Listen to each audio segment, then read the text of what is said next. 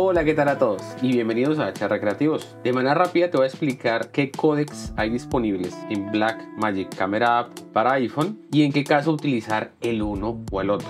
Rápidamente vamos a la aplicación y les explico. Una vez estamos en la aplicación de Blackmagic Camera App, vamos a ir a la sección de preferencias y en preferencias vamos a buscar la opción de grabación y la primera opción que tenemos es la denominada codec. En esta opción tenemos un total de 6 opciones a utilizar. Estas opciones están organizadas de la mejor a, digámoslo así, la peor, pero no quiere decir que sea la peor. O dicho de otra manera, la opción que tenemos de primera es la opción que mayor información va a guardar, que mayor profundidad de color y más flexibilidad nos va a dar en el momento de hacer una gradación de color una corrección de color. Y es la Apple ProRes 422HQ. Pero asimismo es la opción que más peso va a exigir y más disponibilidad de memoria nos va a solicitar. Por ejemplo, en este caso y en este momento tengo disponibles en el dispositivo, quiero que se fijen acá en la parte inferior, tengo disponible 33 GB de almacenamiento en el dispositivo y en el codec Apple ProRes 422HQ podría grabar en este caso un total de 4 minutos 58 segundos con ese espacio disponible.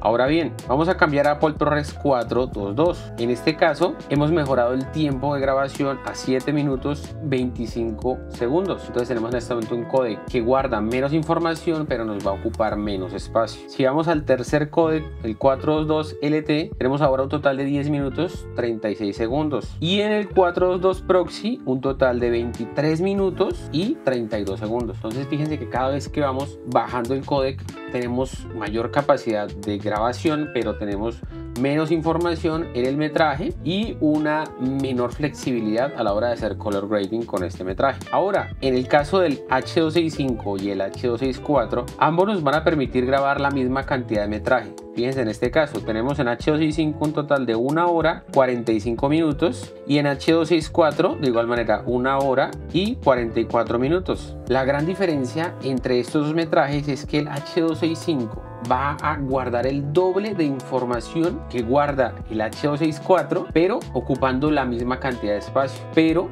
estos dos últimos formatos, el H264 y el H265, son formatos muy comprimidos y para trabajarlos en la mayoría de los equipos normales van a generar retardo o va a ser difícil su procesamiento. Entonces, en este caso, si graban en estos formatos, es recomendable que antes de empezar a hacer su edición, creen proxies del material. Si están en equipos Mac, pueden crear proxies en Apple ProRes o si están en equipos Windows, estos proxies les recomiendo crearlos en DNX HR, ya que esto les va a permitir o les va a facilitar hacer la edición de su material. Y bueno muchachos, eso es todo por este breve tutorial. Espero que les sea útil en sus producciones, que puedan aprovechar al máximo las cámaras de su dispositivo con esta maravillosa aplicación denominada Blackmagic Camera App. Si quieres seguir aprendiendo más sobre DaVinci Resolve, mira los videos sugeridos y suscríbete al canal.